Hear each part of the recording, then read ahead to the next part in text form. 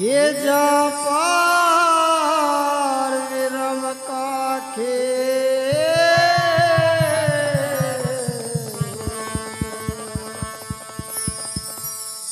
दीपक जल अगम का बिन बाती बिना आन सावासी उस देश का। ये जा जात कठुनाई।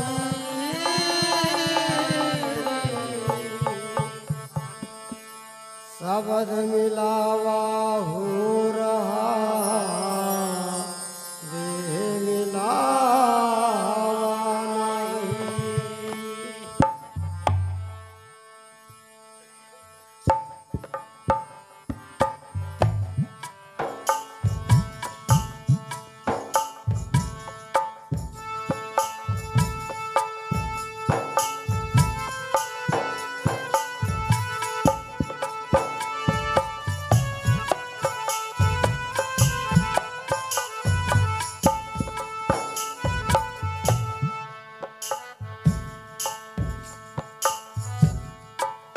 हरे